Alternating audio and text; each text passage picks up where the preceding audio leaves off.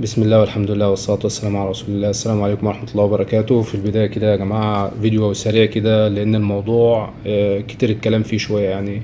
الموضوع بتاع اللحم وختم الشركة الفرنسية وحاول دخل فيه الوقت حمام الوزان كان في أخ من من الشباب آه، مربين اللحم تقريبا في الشرقية أو حاجة زي كده كان نزل آه، منشور وأنا علقت على المنشور ده لأنه نسب كلام ليا فأنا علقت له قلت له إن أنا ما بعتش من أولاد حمام الشركة الفرنسية.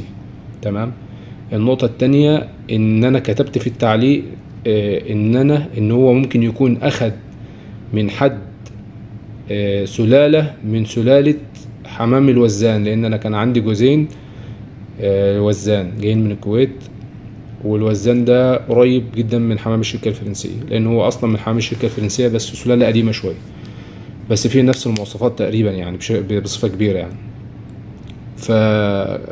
فجوزين ذكر مات والنتاية أخدت لاحم آه، من الحمام المصري الحمام بتاعي. تمام؟ وكانوا سايبين في غرفة مع بعض في وسط الحمام المصري. اللي كانت بتطلع يعني أنا لما كنت ببيع زغاليل ما كنتش بميز الزغلول ابن النتاية دي.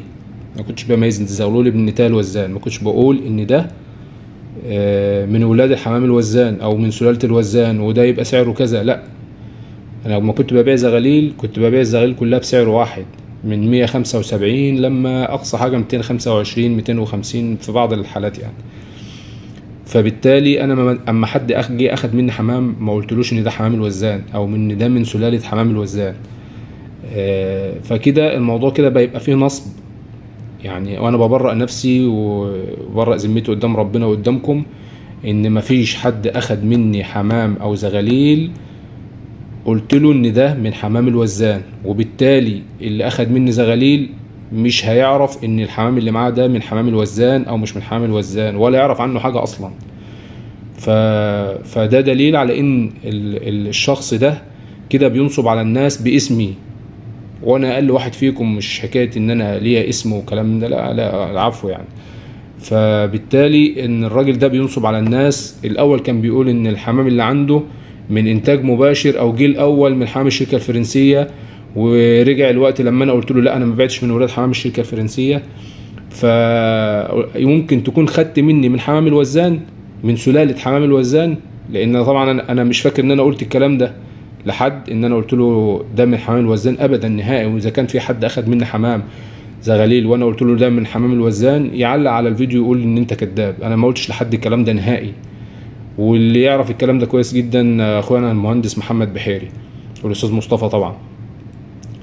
آه، فكل التحية والتقدير لكم جميعا. يعني الراجل بياخد آه، واخد سكرينة من ال- التعليق بتاعي. لغاية حتة إن أنت ممكن تكون واخد من سلالة حمام الوزان وأما يجي حد بيكلمه يقول له شوف الأستاذ أحمد بركات آه، قال إن أنا إن هو بعمل حمام الوزان وأنا واخد منه وواخد حتى كمان صورة من الفيديوهات اللي أنا كنت عاملها يا إما في الكويت يا إما في مصر مع الأستاذ مصطفى وواخد صورة الختم بتاع الحمام بتاع الشركة الفرنسية ويقول للناس دي دي ال- دي, دي الأبهات أو دي يعني مثلا دول الجواز الكبيرة اللي أنا واخد من ولادهم. تمام؟ فالسكرينة دي حاططها عنده والصور اللي هي فيها الختم دي حاططها عنده. كل ما حد يجي يكلمه يقول له شوف دول الأب دول ال- ال- الأبهات أو دول ال- الجواز الكبيرة المنتجة ولا أنا عندي من ولادهم؟ ورجع الوقت يقول لك لا ده أنا عندي من حمام الوزان وهو ده التعليق بتاع الأستاذ أحمد بركاته. أنا يا جماعة ما بعتش لحد زغاليل قلت له دي من حمام لحم الوزان. يبقى كده الموضوع ده نصب بينصب باسمي أو باسم أي حد تاني.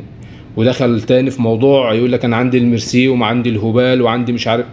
الكلام ده كله كلام فارغ وكله كلام نصب ودليل بكده إن هو بياخد سكرينات من تعليقي ويحطه للناس أي حد يدخل له. وطبعا بيضحك على الناس الجديدة الناس الجديدة ال- ال- الغاويين الجداد.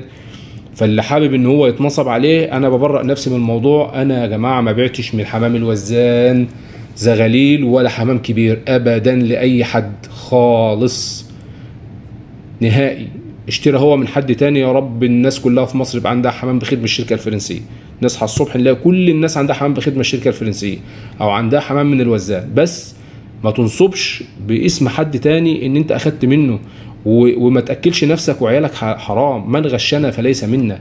من غشنا فليس منا. والسلام عليكم ورحمة الله وبركاته. عشان ما أطولش عليكم في الفيديو كل سنة وأنتم طيبين.